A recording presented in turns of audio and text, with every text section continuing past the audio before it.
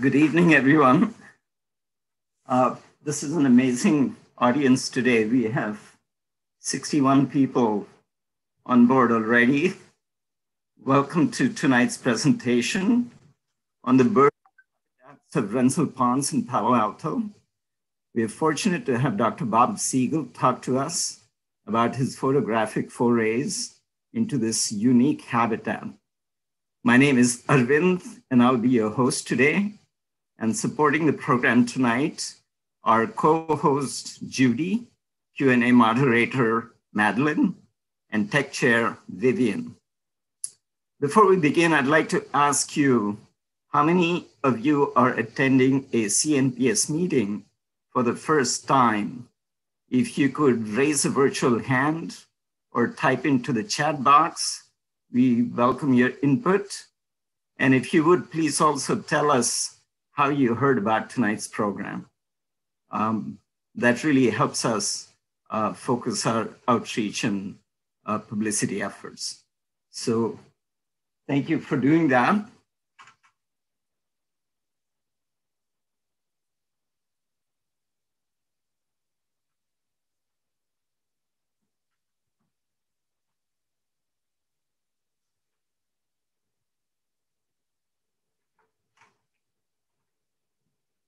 For those who are new uh, to the group, the Native Plant Society, the California Native Plant Society, is a nonprofit environmental organization. It has more than 10,000 members in 35 chapters all over the state, as well as Baja California. Our chapter is the Santa Clara Valley chapter, and it covers Santa Clara County and southern San Mateo County. The CNPS mission is to save California's native plants and habitats intact by bringing together the best in science, education, conservation, and gardening to what we hope will be a native plant movement. If you're not a member already, we encourage you to join and support the work of the Society. Membership benefit include two fine journals and a scholarly one called Fremontia and a very accessible uh, journal called Flora. You will also receive the chapter newsletter, Blazing Star, that comes out every two months. Some upcoming events. On Wednesday, January 13th, we have an, a talk on manzanitas by Kate Marianchild. She's a published author of as well as uh, she's a very engaging speaker, so watch out for that. On Wednesday, January 20th, we have our annual members night and general meeting in which members get to share their photos of their nature adventures and excursions. It's very popular. If you'd like to sign up, please visit our website and there will be a link to, to a sign up sheet. That's Wednesday, January 20th. February 3rd, we have a talk on supporting biodiversity with native plants by Shelky Tao. Anyone who's interested in knowing how to attract more birds and more butterflies and insects and wildlife to your garden, this would be a very fascinating talk. That's February 3rd. And on February 17th, we have a talk on the natural history of San Bruno Mountain. This is one of the really wonderful places on the peninsula that more people ought to explore. The talk is by David Nelson and Doug Allshouse. They really know the mountain well. It should be a really informative and intriguing talk. Know that when we have last minute late breaking announcements or events, we always announce them through our mailing list and events are announced on our website as well as meetup.com. So be sure to check those for late breaking events. You should know that the chapter nursery is open for business virtually. And this is thanks to the tremendous effort by nursery volunteers. They are propagating plants and these plants need forever homes. So I encourage you to shop online. And there's a special sale going on, some plants Cobb Mountain lupin, California buckwheat, Howard McMinn manzanita, arroyo willow, that's a tree, and yerba mansa, a lovely ground cover for moist places in your garden. Uh, you can pick up the plants either at the nursery or have the option of having them delivered to your house for a very nominal charge. All proceeds benefit the chapter, and there are t-shirt books and other items available for sale at the website. And the square site where you can uh, place your orders is given at the bottom of the screen. Uh, this will also be pasted in the chat window. And it is also available through the chapter website. So if you can get to the chapter website, you don't have to remember um, these addresses. If you're not already on the chapter mailing list, I encourage you to join it. Traffic is low, the information content is high. And once again, um, the email to, to send, to subscribe to is given at the bottom of the screen, and it will also be pasted in the chat window. If you enjoy these virtual programs and you have some bandwidth, we sure can use your help to organize more of these programs. The basic qualifications are that you're comfortable using a keyboard and mouse, be able to switch windows, be able to copy and paste text from one window to the other. If you feel that you have these qualifications and you have the bandwidth to help, we'd love to hear from you. Please contact Johanna or Madeline at the addresses given and these will also be available in the chat window. Some housekeeping before we begin, please make sure to mute your microphones. If you have questions or comments, please type them into the chat box as they occur to you. We will be directing those at the speaker uh, later in the program. We expect to finish by 9 p.m. And the program is being simulcast on YouTube and will be archived there for later viewing. So on with tonight's program. Um, I would like to um, say a few words about Dr. Siegel. Bob Siegel has been exploring and photographing the wildlife of this area for many, many years. In pre-pandemic times, he led docented walks at Jasper Ridge and Año Nuevo Preserve, in his other life, he's a professor in the Department of Microbiology and Immunology at Stanford. After this, after his presentation, I'm sure you're gonna have a lot of questions. So please uh, feel free to post them in the chat window. And now I hand off to, to Bob. Go ahead and share your screen.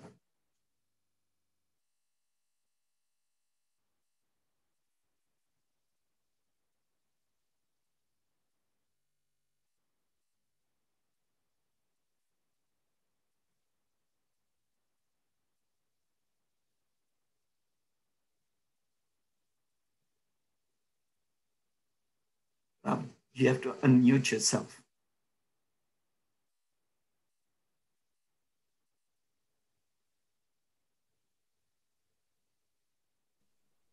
How about that? Is that working?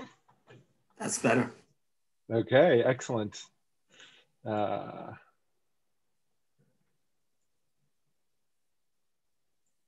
here we go. Okay, so uh, this is my little panegyric to uh, Renzel wetland. Uh, so first of all, uh, lots of thanks uh, uh, to, uh, I want to thank to the, the, the, people who helped out with creating this presentation and for the invitation from the California Native Plant Society. I want to thank all the attendees, especially relatives and friends. My only mother, my only brother are here. Um, and uh, I want to also thank Arvin for uh, making this possible. Uh, I gave a short presentation on Renzel uh, to the photographic group, and he subsequently invited me to uh, sort of repeat that and expand on it for tonight. So I'm doing that. Uh, to Vivian and Carol for doing the setup and the and the uh, advertising. Uh, I also want to thank my photographing nature students uh, for inspiring me. Some of them are here. Special thanks to Dwight Agan, who basically um, essentially introduced Renzel to me. and to Atul, who basically introduced this group to me. Uh, also, thank you to the people that I've met in the wetlands, especially Ellie, uh, who's uh, connected me with a lot of interesting uh, wildlife and people. Uh, Sherry Bear, uh, who um, published an article with my pictures in Punch Magazine. Um, Rob Most for introducing me to Sherry Bear, uh, Jack Awicki for a lot of his inspiring uh, adventures in the pond, uh, and to Emily for her pond or for her wetlands. Okay, so this is me. If anybody wants to get in touch with me, uh, uh, I'm at Stanford. Uh, my primary appointment's in microbiology and immunology. so there's some of my contact information. And you can reach me at chickenpox at gmail.com. Okay, so. Okay, now it's a great privilege to be able to talk to you today. Uh, so here is the, uh, the, the announcement that was sent out in the Blazing Star. Uh, and I will make some confessions here. Uh, so I Googled Blazing Star and I came up with this, this plant over here.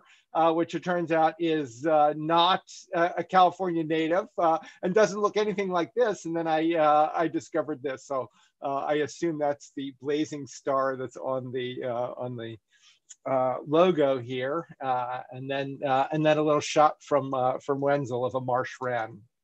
Okay, so the flora are coming in a second. so a little more way of introduction. you'll see this is actually a picture I took on my very first day at Renzel Pond in in late uh, 2019. Okay, so the disclaimer is uh, that uh, native plants are not my field. Uh, here I am in, in, a field of native plants, but it's not my field. Um, uh, and in fact, I'm kind of the black sheep of my family because uh, they're pretty obsessed with plants. And uh, in particular, my uh, my son is very obsessed with uh, native trees, and my brother has been interested in native plants since he moved to California in the 1970s. So that's been a long-standing interest of his. So I do have some some credibility in terms of plants since I used to be the Stanford tree. Okay, so there's that. Okay, now uh, once I was given this invitation, I kind of went down a whole bunch of different rabbit holes. Uh, I guess the advertisement was I was going to show you lots of pictures of birds, and I'll try to do that as well. But uh, but I went off in a bunch of other directions, and people who who know me and who've heard me talk are probably expecting me to go off on various tangents. So uh, this talk will combine various intertwining threads of of my life, including photography, nature, walking, uh, COVID, iNaturalist, birding, and schmoozing with people at the pond. Uh, so I have an early beginning as a photographer. That's me uh, by the Statue of Liberty, particularly relevant today. Um, okay, so my initiation uh, uh, actually comes from a class I teach called uh, Photographing Nature. And this is a group of uh, my Photographing Nature students over at um, Año Nuevo uh, where I was also a docent. And the purpose of this class is basically fourfold to enhance people's powers of observation, to, uh, to help them learn about the natural world, uh, to enhance their ability to communicate both pictorially and how to integrate pictures and words, and also to hone their photographic skills. Okay, so, and we also talk a lot about the role of the photograph in terms of uh, communication, uh, and we talk a bit about uh, equipment and things like that. So. Uh, it's an okay phone, but it takes great pictures. Okay, so that's me. I carry that around every day. Uh, this is another version of my class, and this version is uh, particularly notable. Uh, first of all, here's Dwight, who basically said, "Oh, you need to go over to Renzel." So, uh, so I did. Uh, life-changing experience. Okay, and then here's Atul who was also in that same class. Actually, Dwight was the TA for that class. They were helping me out teaching it. and and then you can see he's also carrying his big gun with him. So so that's actually how I got connected. Um, now, uh, the most remarkable thing about history is that one thing leads to another. And so uh, those connections actually led to me being here today. So uh, now I want to briefly talk about the COVID thread here. Basically, COVID led to no, no travel, uh, shelter in place. Uh, uh, I, I typically walk the dish, Stanford dish loop, uh, almost every day, but then they closed the dish. So due to the virus, uh, that was after shelter in place. So that was a that's in full disclosure. Uh, and uh, and then we were looking for alternatives, places to walk. And then I had amazing interlude with a killdeer that I'll tell you about that basically sold me on uh, on this place. And I started going back almost every day for a while at least. Okay, so uh, in preparation for this, I decided to look at some of my very first pictures I took, uh, and then also pictures some pictures I took yesterday and compare them. Okay, so day one uh, was December 30th, 2019. Uh, I'm going to call this uh, REWEC 19, uh, sort of like uh, COVID 19. Uh, so, uh, so I've now been going for 376 days. Okay, so so here's a, a, picture from the very first day uh, in the duckweed. Uh, and uh, one of the things that struck me when I first went there was the, uh, the chicory. I've always liked chicory. It's something that I had heard about, but never actually seen uh, until I got to California. Uh, and I think one of the things that struck me was the way that the, the, the tips of the petals are sort of serrated like that. I just thought that was amazing. so that's chicory. So that's actually a picture I took on day one. And here's a picture I took on day 375 yesterday yesterday. Uh, so the chicory is still there. Uh, and, uh, and in the interim, I took various other pictures of chicory. So uh, yes, it was, uh, it's a non-native. Many of the plants that are at Renzel are non-natives. Um, and that was actually introduced to the Baylands Nature Preserve. Uh, so people brought it and that's a common theme. It's actually the root is used as a coffee substitute. Apparently, has a similar taste to coffee but it's not caffeinated. And this is kind of a tradition in New Orleans that's used quite a bit. And uh, uh, one thing that as you start you, taking pictures of things, you notice all kinds of interesting features, like the the way that the uh, the stamen curl around like that. So uh, yeah, quite quite quite beautiful. So that's chicory. Uh, another plant I took on day one uh, was bristly ox tongue, uh, very striking plant. And, uh, and then here's a picture I took yesterday. Uh, uh, it's actually not supposed to be flowering now, but it seems to be flowering most of the year. So, and then a couple other pictures. I got some, uh, some even some new species yesterday. Pretty much I go every time and discover something new there. So this is a new species that I that I hadn't seen at the pond, or at least I hadn't photographed at the pond before. and I guess the birders, I'm, I'm kind of a reluctant but the birders call this a butterbutt. Uh, so, um, uh, so yellow rump warbler. Uh, and then uh, all the way down to, if you look underneath leaves, uh, you'll find some interesting things. So here's a gall uh, and um, this is on a mallow over in the pond. Okay, so a description of the pond. Uh, Renzel Wetlands is kind of a 15 acre freshwater pond. Uh, it is freshwater from treated effluent from the Palo Alto uh, water treatment plant. And there's a 12 acre restored salt marsh uh, and I uh, learned that the salt marsh is actually uh, actually has salt water pumped in, so both the fresh water is pumped in and the salt water. Because when they uh, when they did the landfill over at Byxbee, it actually cut off access to the bay, so uh, which uh, would destroy the would have destroyed the salt marsh, including all the the pickleweed and the and the and the inhabitants of the pickleweed, including the mice. Um, there are trails, especially on the water's edge, and uh, the pond is divided into actually two ponds by an embankment with a spillway, uh, and water enters the pond from below. So there's a sign. Uh, uh you're not supposed to do uh, um, swim, wade, fish, uh, and uh, people bring dogs, but they're actually not supposed to. And so I got them to put up some extra no dog signs. Uh, it's particularly unusual when you see certain people who are interested in birds and have their dogs with them, which seems kind of uh, uh contradictory. Okay, so here's some advice from a wetland. Uh, I got this in the Everglades. Uh, make a splash, take time to reflect, listen to nature, read more, be green, don't get bogged down in what's the rush. Okay, so here you can see a number of places where the water is actually bubbling in from uh, uh, from underneath, uh, and uh, this actually uh, are places where the birds actually like to hang out because it turns up the uh, the nutrients, and so they can often find fish and different things there. now, this is a place that is actually we might call rewilded.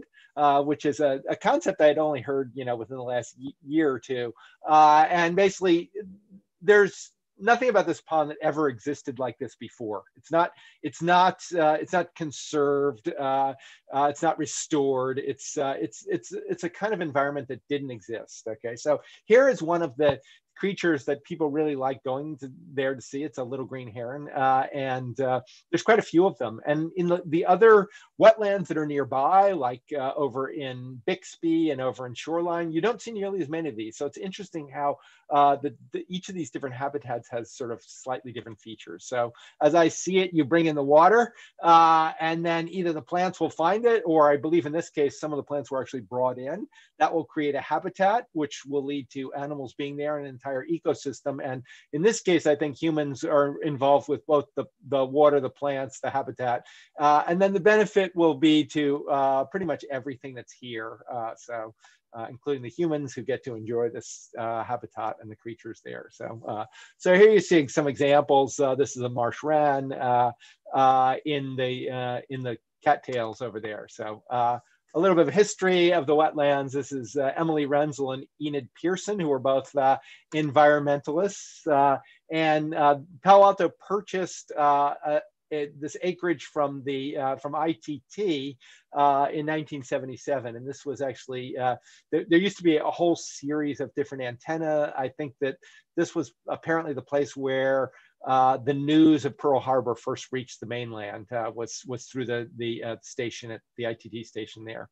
Uh, it was dedicated as a parkland in 1982, uh, and there is an the, the ITT. Two of the buildings from ITT are still there, or, and then 1992 was constructed the wetlands, and shortly after it was named after Emily Renzel. Uh, and an interesting bit of history is that there was a measure called Measure E in which two different environmental sides uh, disagreed. Uh, one said, you know, you need to keep as much uh, nature out there as possible. The other said that uh, Palo Alto needs to create a, an anaerobic uh, uh, plant for recycling waste uh, instead of shipping it out to other communities. And so this was a huge fight between the environmentalists. the, the Keep It Pretty group won out. Uh, and uh, the interesting thing is that with that, I, I, hadn't actually heard about it, even though I spent quite a bit of time in the Baylands. And it turns out it's really only been in its current state for about a little over a year. Uh, I couldn't find out that much about this, but I did an interesting thing. I looked at the number of observations on iNaturalist uh, and looked at where they were. And it's pretty clear that uh, if you go more than two years ago, there wasn't really a path around the, the ponds around the wetlands. And then, uh, and then little over a year ago, they actually, or uh, during 2019, they actually created the the uh, the path between the two different uh, wetland areas, and so it was interesting to be able to reconstruct that history uh, just by looking at the number of uh, and and the location of the iNaturalist observations. And I'll talk a lot more about iNaturalist in a second. Uh, and then uh, a friend of mine who's sort of in the know, I didn't put her on here, but she basically said the city did the renovation. It was after the dump closed, so basically the dump filled up uh, and they they closed it down. And so they did uh, trail expansion and planting. Uh, and there were uh, some people, I put that, uh, I changed her wording there, some people who didn't want it messed up.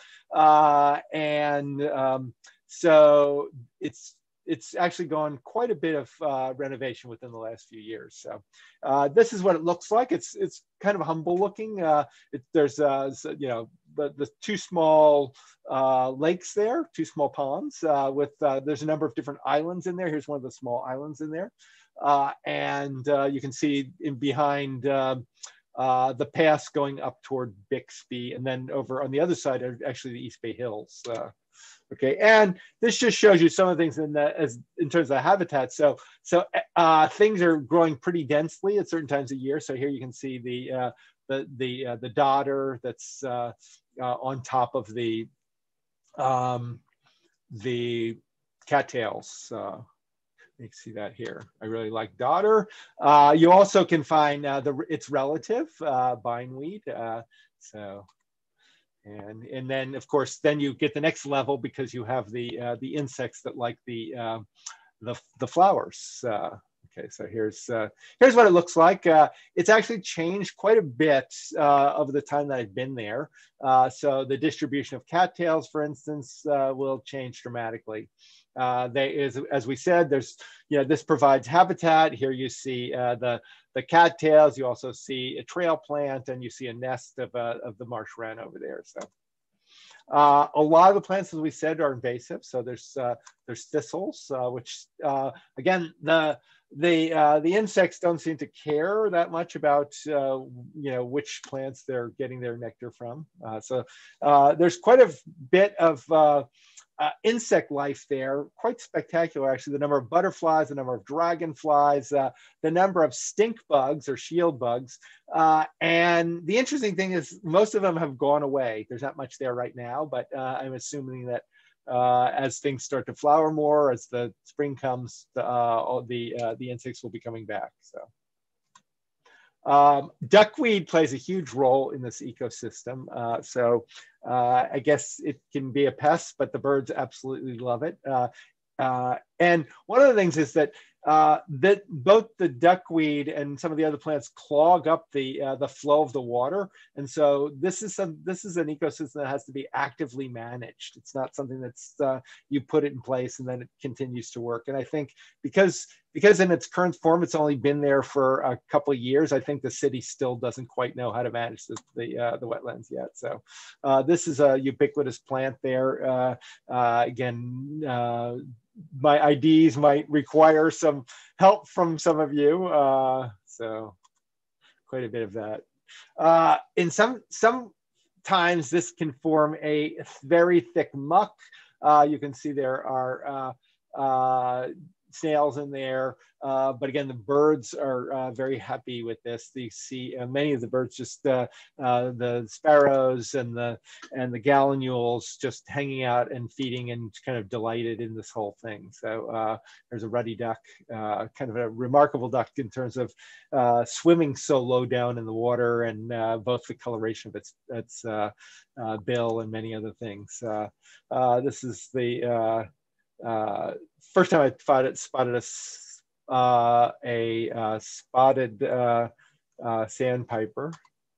Uh, and then there are other things there like turtles and frogs and pretty much a wide range of different sort of taxonomic groups. the night herons often will pose again on the on the um, on the muck.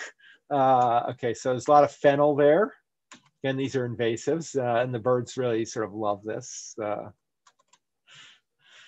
as do the insects. Uh, um, so uh, quite quite a few different kind of beetles there as well as I was talking about. Okay, so so here I am. I'm with the California Native Plant Society.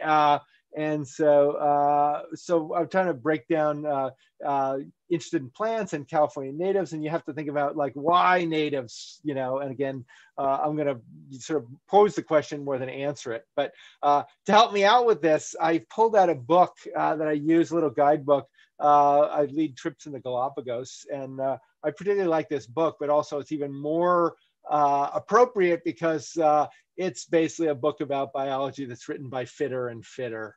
Uh, I guess if you read enough, you'll become fittest. And one of the things I have in here is this little key to the uh, species in the Galapagos. And so I changed, I got rid of Galapagos and I stuck in the word here.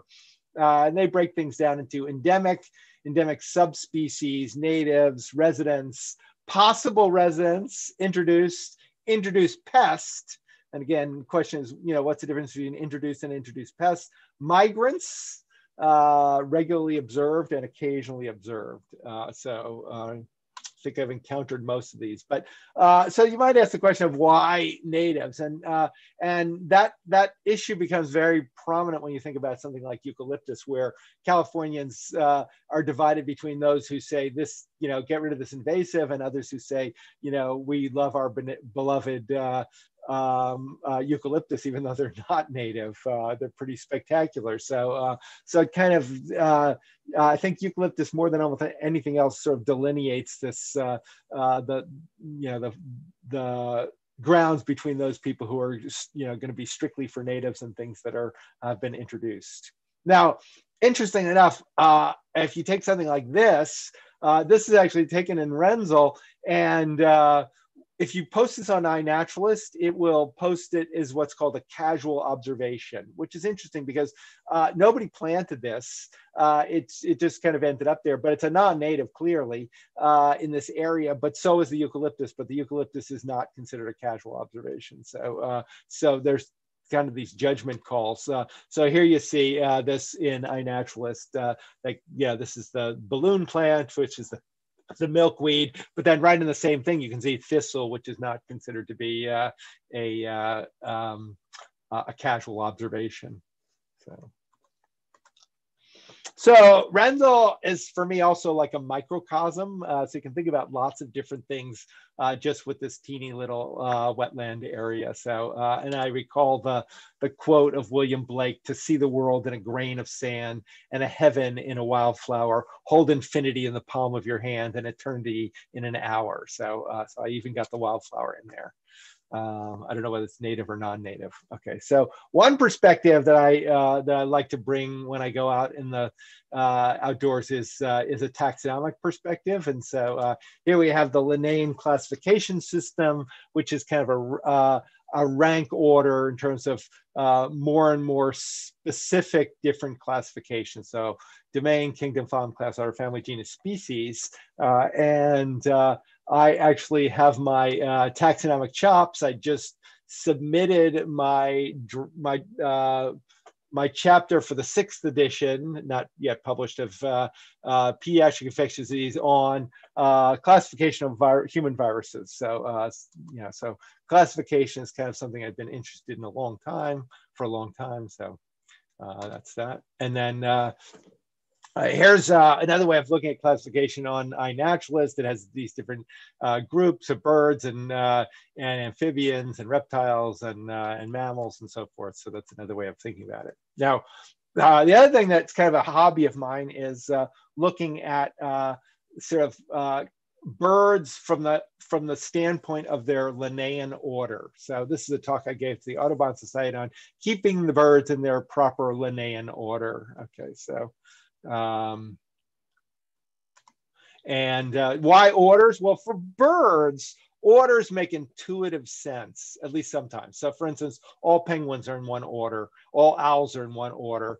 Uh, so that kind of makes sense. It, it, doesn't work as well for plants. It seems to me that like plants uh, work better kind of at the family level. So anyway, but here's my list of uh, trying to get a, a, credible picture of every order of birds in the world. I even have uh, pictures of uh, eggs of extinct uh, elephant birds, which you have up there. So now, oh, I missed, oh, I missed, there's one uh, I, I actually made a list, uh, I guess I hit it, of all the different uh, orders that you can find at the pond. And so you can find about uh, something like a third of these different orders there. And interesting enough, uh, one order that's not even listed in iNaturalist as being you know local here, even though I posted the observation, are the uh, Psittaciformes, and those are basically the parrots. Uh, and uh, here's here's photographic evidence that there are actually parrots at uh, uh, at Renzel.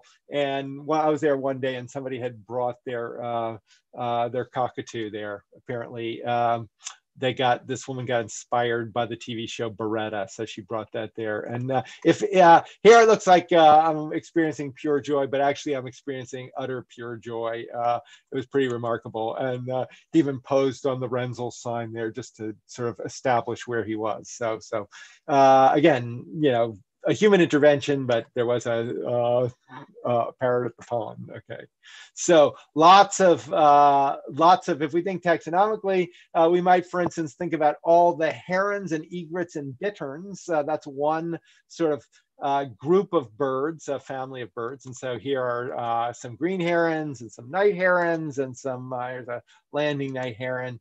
Uh, this is a, a great uh, blue heron, uh, and just by that uh, island that I showed you before. Uh, this is a, a, great egret. Now, great e egrets and herons are essentially the same thing. So these two are actually in the same genus, even though some of the things that are also herons are not in the same genus. So, so uh, you can't really tell whether you know what the classification is uh, by the name heron or egret. Kind of the same thing. Okay, and then here is a uh, you see this, uh, the uh, egret catching a fish. So you got to wonder how did fish get here unless people brought them. But some sometimes they can get there on uh, through birds. You can tell this is a a snowy egret because they have these yellow feet. That's the characteristic of uh, the snowy egret. So he also has a nice manicure as well. So, uh, and then uh, we can switch to another group of birds. Actually, we can actually think about this this family, and this is kind of an unusual order. And this is the rail Rallidae uh, family and the Gruiformes. And uh, uh, this is actually a bird called the Sora. Uh, uh, I'm sorry. This is a bird called a. Uh, this is actually not at Renzel. This is in the in the San Francisco Baylands, and it's a California. It, it's a Ridgway rail. It used to be called the California clapper rail, and this is one of our classic in, endemic species. It's also considered to be endangered. Uh, so you can see these out by uh, Palo Alto Baylands. I have yet to see any of them at the uh, at um, um, Renzel, but uh, but I'm going to actually be talking about the same family right now. So uh, and what you do see is you see uh, um, um, uh, ga gallinules, uh, which you see here, and you see coots, which are also in the same family. And here's a picture showing you the difference between a gallinule and a coot. Uh, so they're actually in the same family, but they're uh, they're uh, in different genera. So. Okay, and this uh, this is the Sora, which I actually did see at the pond, uh, and uh, kind of a uh, uh, small bird. None of these birds like to fly very much, uh, particularly the the the rails.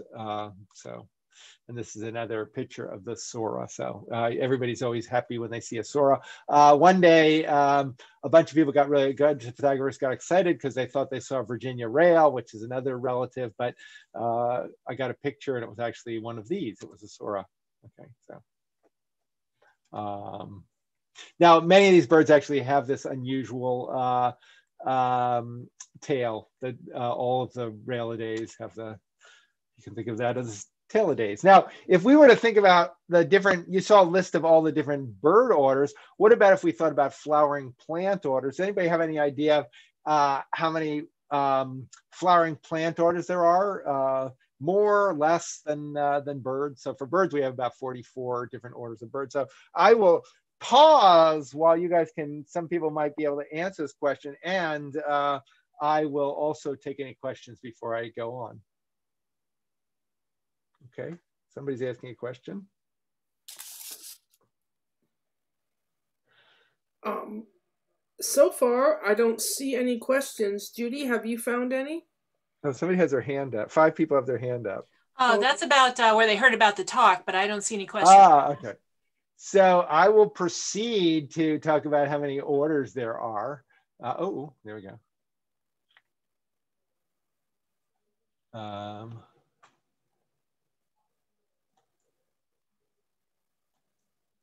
53. So it's interesting. There's about the same number, even though it's way more plants. There's about the same number of orders of uh, of plants as there are of uh, of birds. Um, so you could go. you could make it. Yes. A few questions have now shown up. Um, first one is, how did you get the cockatoo to pose on the sign? Well, it was a pet cockatoo. So, uh, so the cockatoo was very, very accommodating. So the person who owned the cockatoo, I mean, it was, I didn't know the person, but they were just very friendly. Uh, the person who owned the cockatoo, you know, said, "Oh, you want a picture by the sign? Oh, you want a picture with the cockatoo? Oh, you'd like." Anyway, so uh, yeah, the cockatoo was perfectly happy. It doesn't.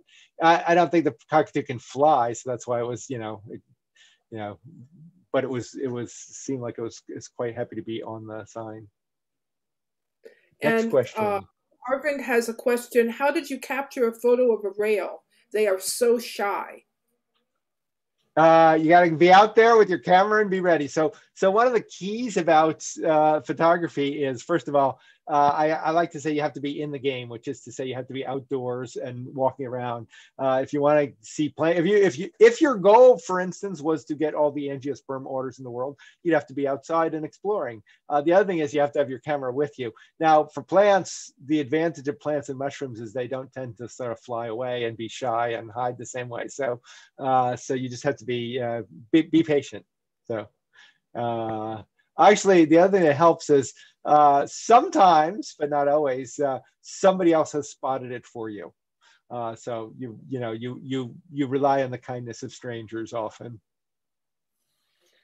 And we have, I see one more question. Um, how is Renzel Pond different from Baylands? I believe they're geographically separate. Is that not right? Yes, they're geographic. Well, they're contiguous. I mean, Bay, Renzel is contiguous with uh, with Byxbee, uh, and then it kind of blends over towards uh, um, over near Charleston Slough. It gets closer on that side. Uh, it's very different because uh, basically Palo Alto Baylands is uh, brackish water. So, so it's it's basically salty, whereas uh, the the ponds that I'm showing you here are mostly fresh water, uh, and that makes a huge difference. Uh, and now there is a, there is some fresh water in both the duck pond, but the duck pond's not actually an active you know uh, ecosystem because there aren't really plants in the duck pond. And uh, and also there's some uh, influx of, of fresh water into um, shoreline lake. So but each one seems to support a different sort of um, spectrum of of uh, plants and birds and insects it's it's kind of interesting they're so close together I mean, even within the Palo Alto Baylands, you find a huge difference between uh, different parts of the Palo Alto Baylands. Okay.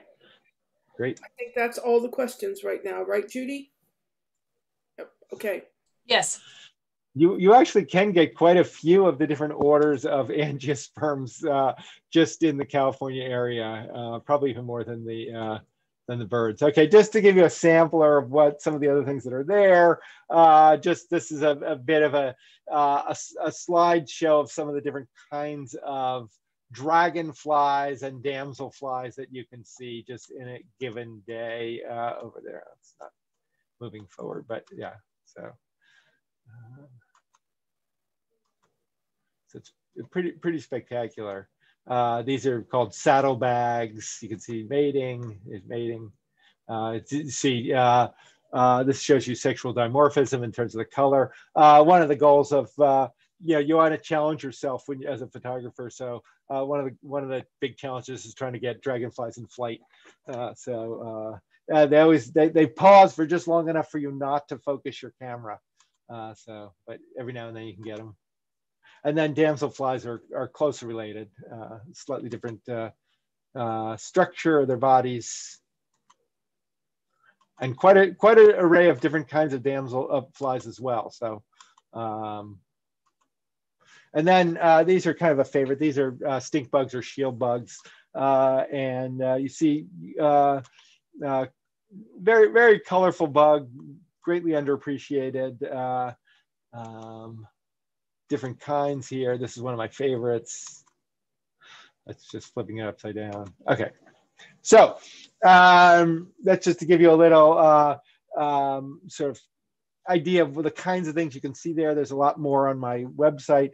Uh, now I want to talk a little bit about the island uh, biogeography perspective. So, so I teach some classes on island biogeography, uh, including some classes in situ. So we've looked at island biogeography of the Galapagos and of Tasmania and of uh, um, um, uh, I've looked at uh, island biogeography of, of Borneo and uh, and Papua New Guinea. So so one one thing you want to think about with island biogeography is how, how do organisms get there? So how do the turtles get to Renzel, or how do the fish get to Renzel? Uh, sometimes they get there uh, by walking. The turtles can actually you know walk from other parts of the the uh, the the bay. I've actually seen turtles, you know, away from water, uh, and the fish sometimes can arrive uh, as eggs on uh, on um, on the legs of birds. So birds scatter them. Uh, you also find uh, things like um, crayfish there. These are red swamp crayfish, and uh, they are uh, a huge part of the ecosystem there. So a lot of the birds uh, feed on these crayfish. So in the water there, it's hard to see them except for the fact that uh, uh, you you see the birds with the the the, uh, the, the crayfish. Especially the grebes are particularly good at catching the crayfish. Uh, and the question is, why would they come? So sometimes they come because somebody brought them, and sometimes they come because it's a really great environment for them. So I want to switch gears and now uh, start on a thread that's basically an introduction to iNaturalist. Uh, perhaps all of you are familiar with iNaturalist. If you're not, uh, I sometimes tell people that when they if start using iNaturalist, particularly if they are already naturalists, it will change their lives. Okay, so iNaturalist, a little bit about it was started by uh, some locals. Uh, it's now a worldwide organization. It's housed at the California Academy of Sciences, and it's supported by the NSF and a number of other uh, organizations. And uh, I'm just going to show you some of the stuff you can get on iNaturalist. So this was from today, and as of today, there's over 56 million separate observations on iNaturalist. Uh, you can see a heat map of where they're located. Obviously, there's certain places that you get more observations than others, and they've actually recorded pictures and uh, evidence of over 300,000 different species. And uh, uh, in terms of people on iNaturalist, you have 170,000 uh, uh, people that are uh, identifying different things and and almost a, a, million and a half observers who are sticking things in there. So this is a this is quite a remarkable thing. Now I I first started using iNaturalist when it first came out and I was completely unimpressed. And I didn't use it for a number of years and now it just kind of blows me away. So, uh, Introduction to iNaturalist, it has an expert system. So if you post a picture of an organism, uh, it immediately will try to identify it. It'll try to identify at the family level, at the genus level, and possibly at the species level.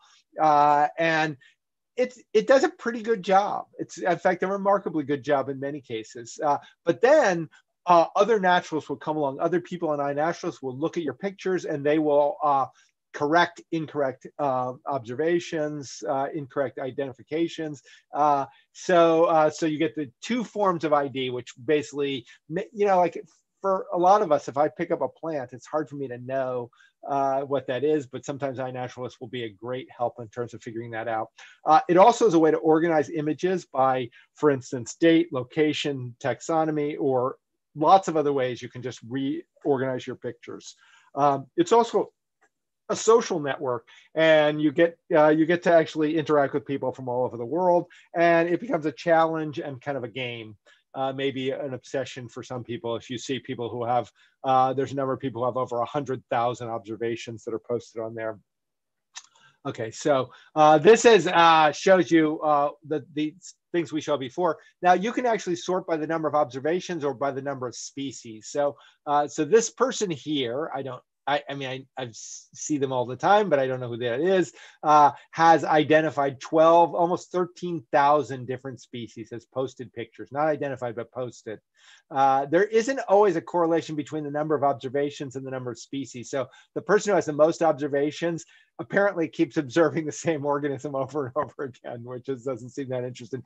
Uh, now, some of these are actually people people might recognize. Uh, these are people I've hiked with uh, who live in the area.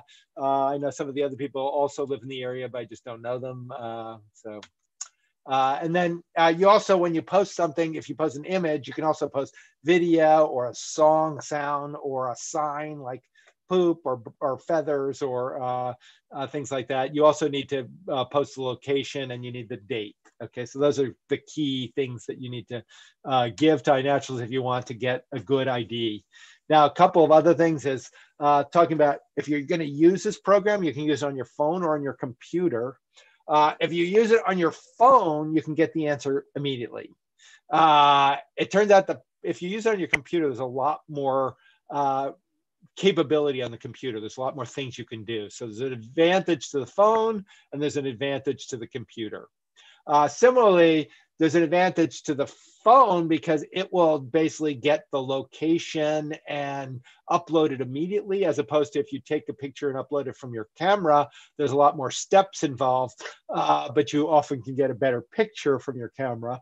Uh, and uh, so I most of the cameras I use have GPS, uh, but most cameras don't, and I don't really understand why.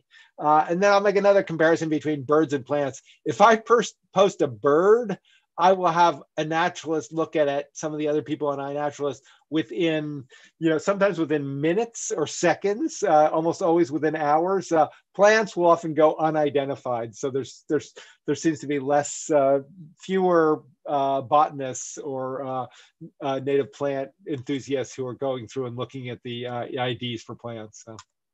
Okay, now uh, I here's one of the things you can do. I actually uh, look specifically to see what observations had been made uh, in uh, in Renzel wetlands. So this is me.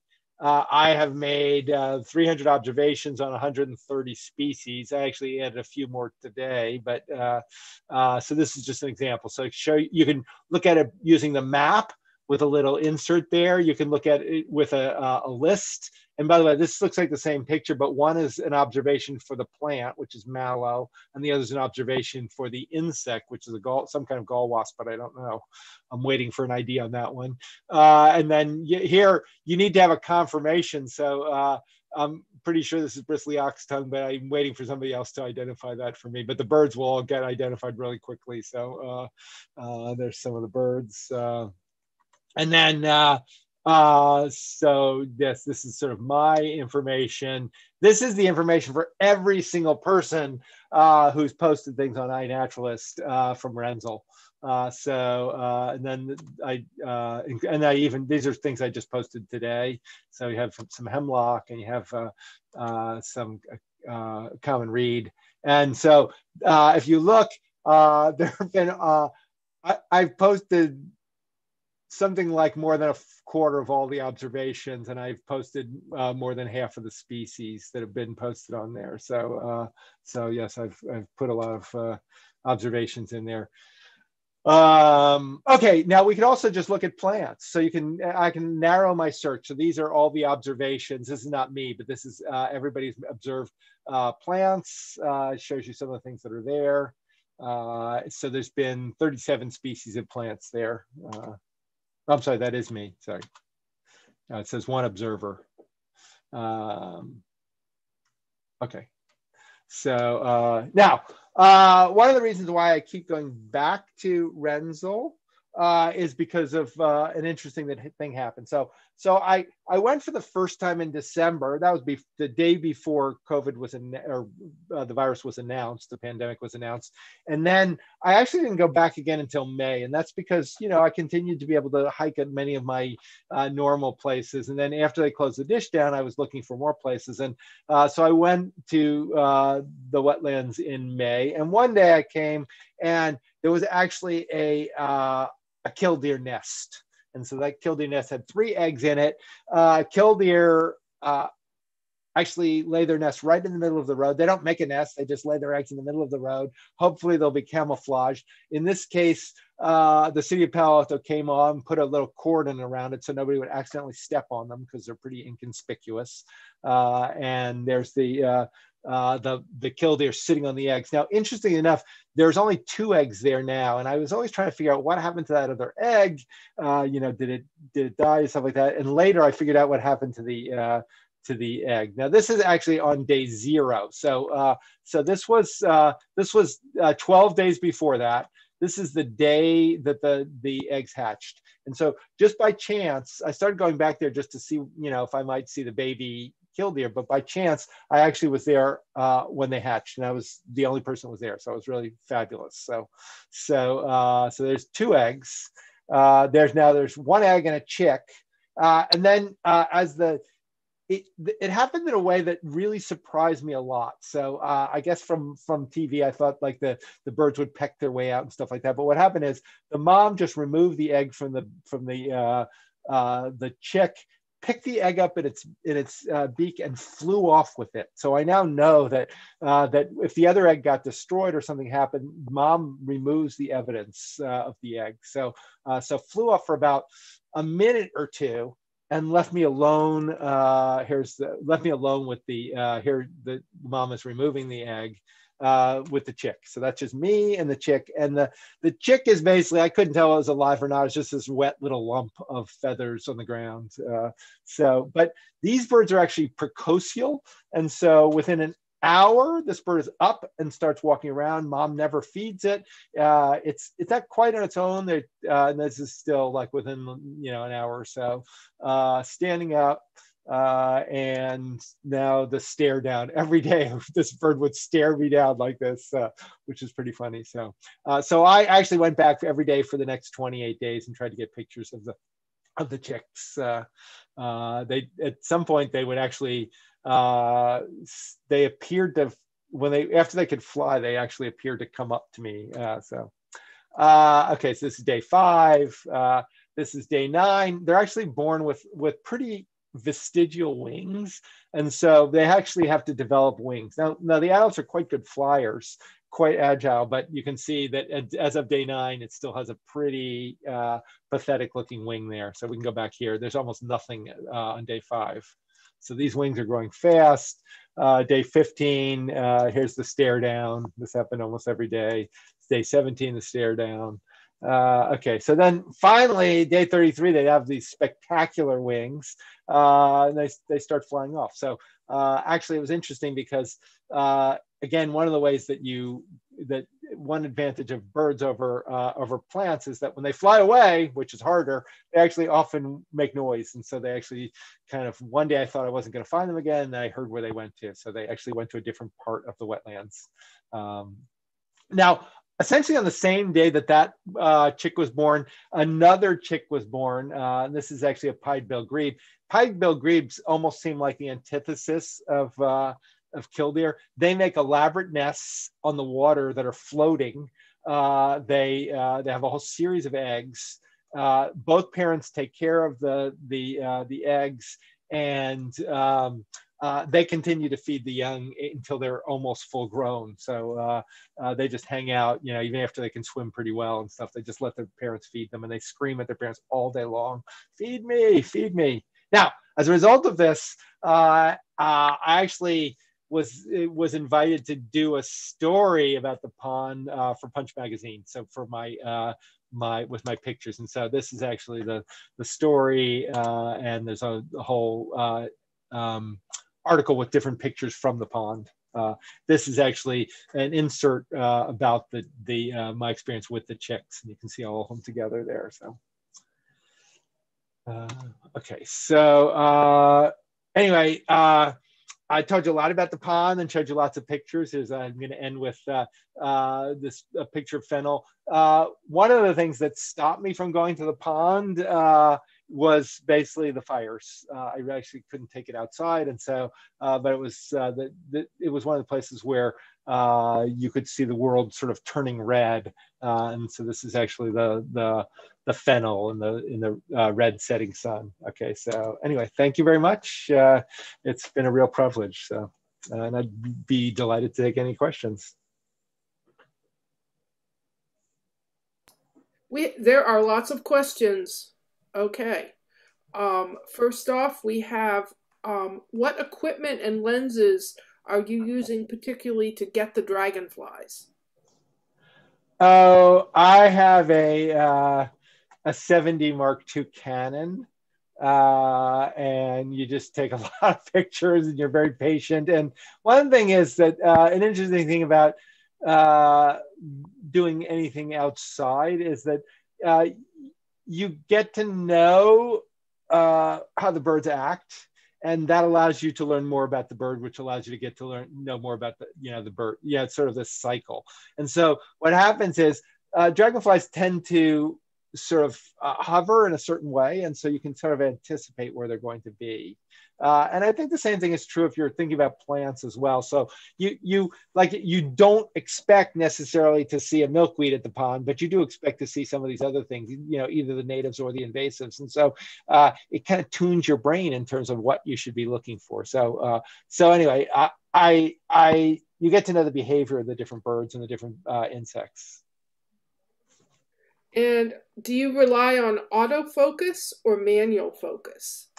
Well, for for dragonflies, because they stay steady long enough, I try to use uh, autofocus on them. Uh, so it's like most of the time it doesn't work, but uh, sometimes it does. Uh, I don't think I can manually. I, I, mean, I started doing photography where I didn't have autofocus, so I got really good at that, but I don't think I could do that anymore. So uh, another question is, how many shots does it take to get a dragonfly in flight? I know you said a lot, but somebody wants to know how many. Well, um, I I don't know, but you know, like it, it's it wasn't like the one dragonfly that was in flight. I get you know a number. This one's better than that one, so forth. So uh, there with with a with a fast autofocus, the dragonfly is either in focus or it's not in focus. So it usually works pretty fast. Uh, you have to have a, uh, a fast shutter speed. I can't tell you the actual number. Uh, anybody who's ever been with me uh, knows that I use machine gun mode. So uh, the 7D Mark II does a, has a pretty fast shutter speed. So uh, so you you just click a lot of images uh, so i don't know you might i mean i i even for something that wasn't flying like that i would take dozens or hundreds of images so uh, the beauty of the beauty of cheap. Digital. Remember how yes. expensive it used to be to to uh, develop photos um I I have students who are still aficionados of film, and I can just say that I think photography is so much more fun now. You just can do all kinds of other things, and then and then uh, the other thing you can do is you do uh, you basically because I don't use my phone very much, except for maybe for landscapes or graving a you know uh, a, memory picture. Um, you also you know do stuff in the on the computer using Lightroom or whatever program you want, and so uh, so I think that's actually a lot of fun as well and then sharing them. It's used to be so hard to share your pictures because you know you'd have to get your, you know, either the, you know your your your still shots out as the little packet or or set up your slide projector or whatever. It was just hard. So. So um, Arvin made the comment there are many more plant species versus number of bird species, which makes plant ID more challenging than bird ID. Uh, yes, but you would think that people would sort of be able to uh, ident- This is about the same number of uh, of orders. You'd think they could at least get it down to the order or maybe the family. uh, one thing that have that helps with the algorithms is that, for instance, uh, it, it the it guesses based on where you are. So, for instance, if you had you know a, a uh, you know uh, a type of plant or a type of bird or type of insect, and it, it wasn't typically found where you were, it would put that lower in the algorithm. Okay. And uh, on a different subject, one question was, is how close were you to the chicks and did the other egg hatch? Oh, both eggs hatched. And uh, I, again, they, the two siblings, I don't know what happened to the one, the third egg, the two siblings hung out together. Uh, you know, the, pretty much, you know, fairly inseparable until uh, at some point I couldn't find them anymore. But that was after about 35 days or something like that. So the the the, the both chicks hatched. Both chicks did very well. Uh, there's a you know there's a barrier that's like 10 feet away or something like that. So uh, um, so that's I you know I was I was outside the barrier. Uh, but you know I have a big lens, so so I'm eye to eye with these guys.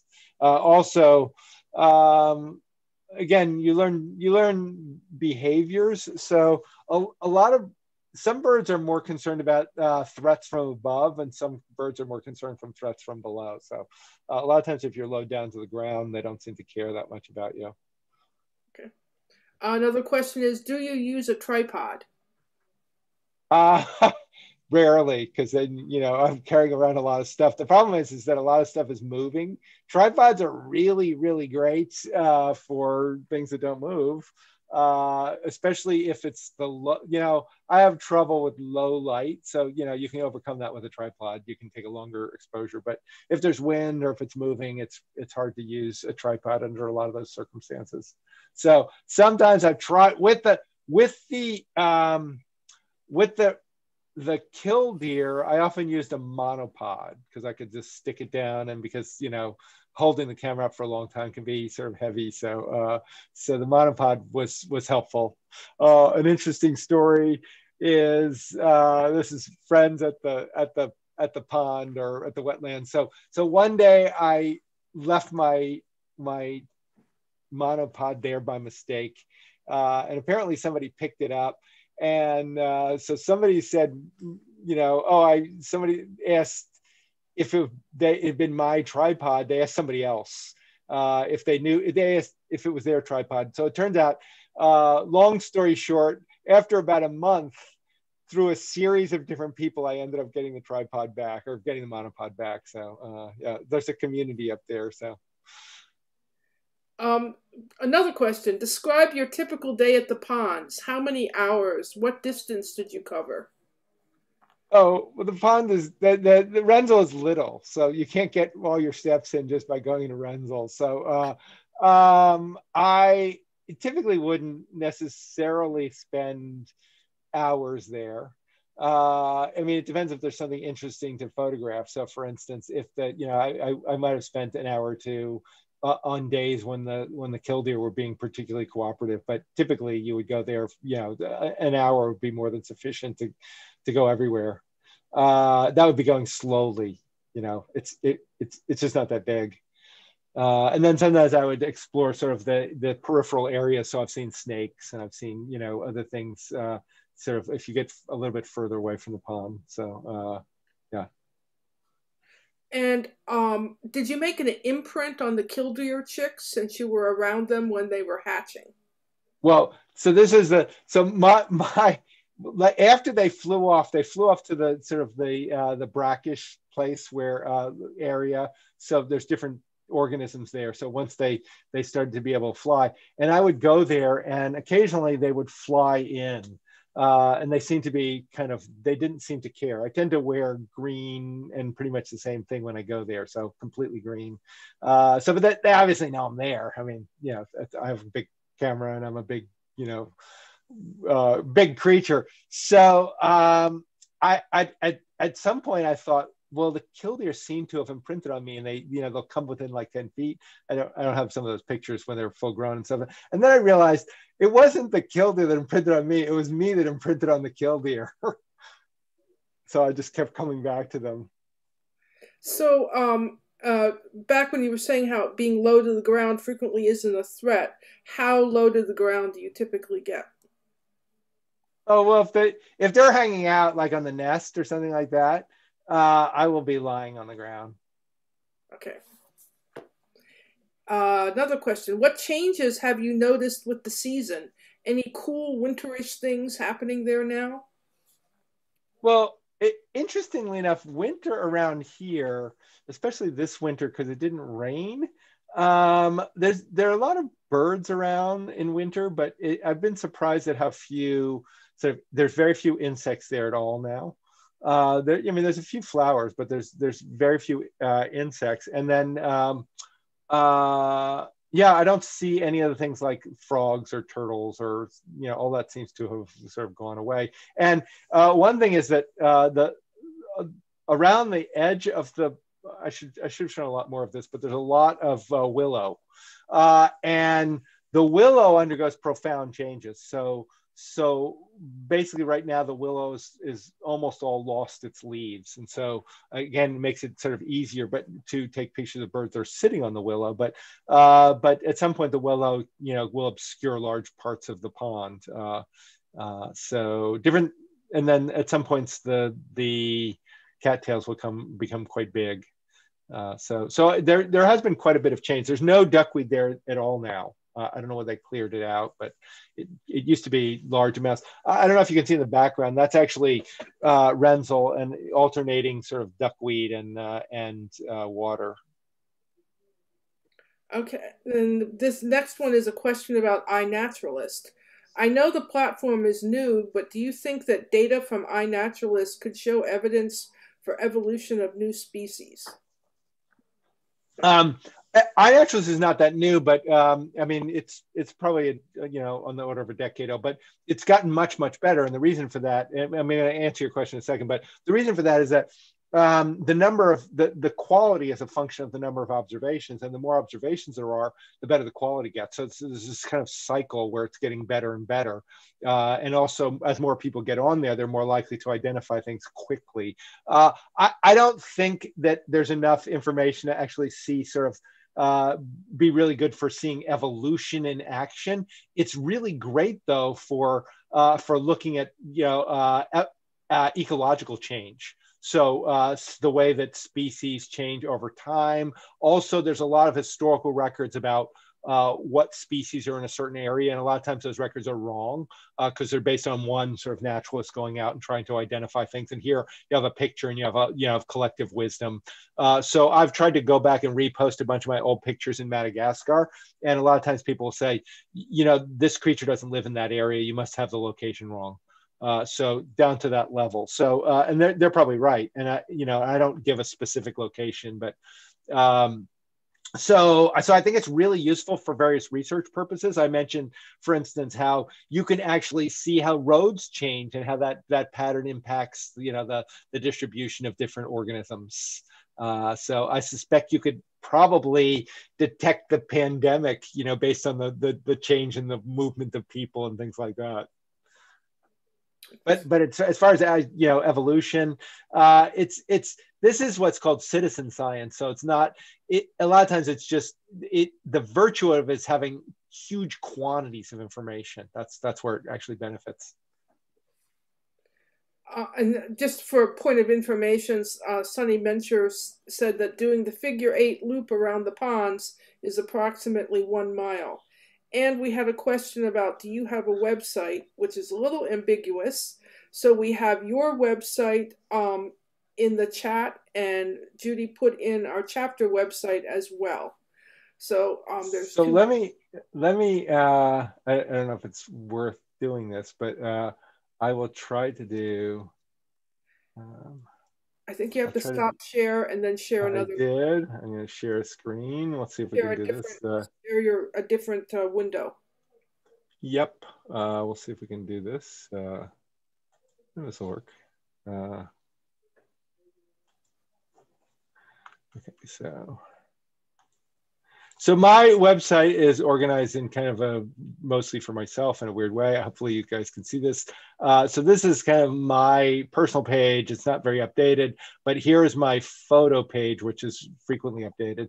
Uh, and this has basically thousands of sub pages. Uh, and you can just sort of click, uh, you can click on any of these links or you can click on a number uh, or you can just do a search command like control, you know, uh, F and do a find. So, for instance, uh, you could uh, here's here's Renzel, and basically it's it's organized by uh, you know birds and uh, and uh, different creatures. So his slime molds. Okay, so so uh, let's see if that'll work. Sometimes the links don't work as maybe not. so the slime mold link didn't work, but there are slime molds there. Um, Here's here's where the uh, when it got really really orange uh, from the smoke. Uh, let's see the slime balls. Yes, the orange Wednesday. Uh, yeah, it was pretty awful. Uh, okay, so here's uh, yeah, this is uh, dog vomit slime mold over here. So uh, it's, it's often in wood chips. That's how it gets brought in there. So anyway, this is pretty extensive site. So I don't know. Does somebody have a favorite organism? Killdeer. What? Killdeer. Killdeer. Okay, well, killdeer is easy. So so I'm going to go back to my. This is my page. Uh, so I'm going to just search on killdeer. Uh, so here are all the and they're organized by. Uh, so here you can see some more of the the uh, the pictures. This is before they got uh, born. Those are some of the same ones you saw. They do this uh, little um, uh, thing where they try to lure you away from the nest. Three eggs. Um, anyway, so this is this is when they um, anyway, so there's lots and lots of pictures there. So how about uh, let's see if you do do a favorite plant. Let's see if I can do that. Pickleweed. Pickleweed. Okay, pickleweed. Pickle. Oh, that didn't spell pickle correctly, but pickleweed. Okay, here we go. Oh, it's in the amaranth family. Yep. So you can tell what family there are, which is kind of cool. Anyway, so I have a lot more pickleweed. I haven't uploaded all of it, but there's a good some good examples. So. Yep. Okay. So that's my website. There's lots and lots of stuff there. You can see more of the pictures from the pond. Uh, this is all by, uh, let's see, I have uh, um, 42 families out of 63 I have depicted there. We are now out of questions. Um, I want to say there's a I've, lot, I've exhausted everybody. there's, there's a lot of very um, kind and excited comments in the chat. So we will send my you mother. no, just kidding. And it's uh, wonderful. Thank you so much. My pleasure. Thank you to all of you for listening and uh, and for your great questions. And uh, yeah, so I hope to see you out at the pond. Thanks, Bob. Oh, we got one more question came in at last minute. Do we have time for that, Madeline? I think, you know, sure. Bob, can you take one more? Sure. Okay, what do you think Thanks, are the key, do you, what do you think are the keys? Oh, two more. Okay, what do you think are the key success factors that contributed to the wild rewilding of this particular pond? Well, I, I think they were surprised uh, at how successful it was. Uh, and so, uh, but I, I, I, think it's the, you know, basically the presence of the fresh water and the movement of the water and also the proximity of other types of ecosystems, like the fact that the killdeer can go from the fresh water and go over to go to the brackish water. Uh, so, but, uh, but I, I don't think, you know, people have actually studied.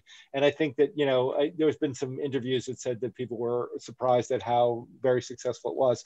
Now, There's a, there's a similar situation. I grew up in South Florida and there's a there's a basically a wetland that I go visit there. That's that's it's bigger than this, but it's still fairly small, uh, and it's called Green Cay. And uh, again, South Florida has a more sort of diverse ecosystem, but it's amazing to me what's there. I don't know whether people brought in the alligators and all the you know the turtles and all that other stuff, but uh, but also how the birds just kind of find these places and know where to go. So uh, so it's another example of something that is completely artificial, but wildly successful ecosystem. Now, in that case, I don't, this, this one is going to have to be managed a lot because in between the two ponds, which are at different levels, uh, are these basically uh, pipes, and the pipes keep getting clogged up.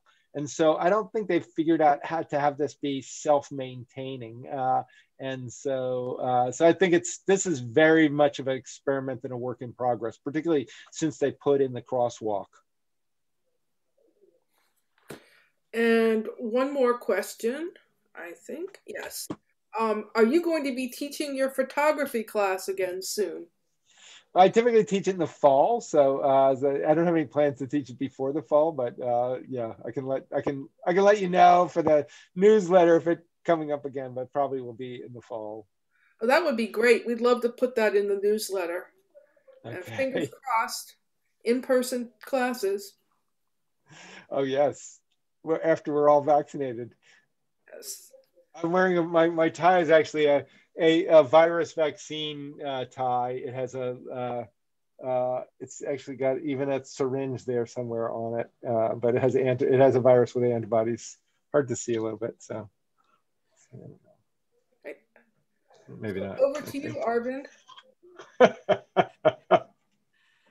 great. Looks cool. Thank you so much, Bob. And thank you to everyone who attended. We had a really phenomenal crowd. I noticed looking at it, about 90 plus people could have been more. So thank you very much, everybody, for attending. Hi, Laurie. Hey, Alan. Hi, Deb. And reminders that this talk will be available on YouTube hey, uh, in a day or so. Hey, John it, yeah, well, we have we have people from from the East Coast. Uh, we have all kinds of people here. Students of mine, actually, we have uh, somebody from Singapore. Uh, so you should get demographics. This would be like. I don't think Zoom does that yet. I'll have to take your word for it. I people. What some of Hey Kathy. Thanks, Bob. Uh, I think uh, I think we'll probably end the YouTube flow now. So um right. streaming. Thanks very much. Thanks for a terrific fun night, fun Friday night. That's great. Take care. Hi, Sherry.